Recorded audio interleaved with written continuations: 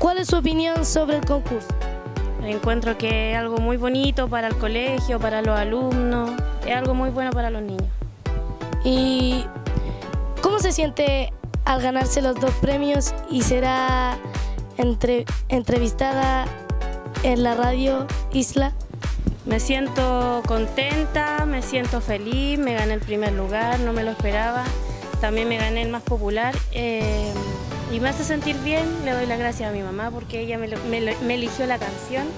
Así que eso estoy contenta.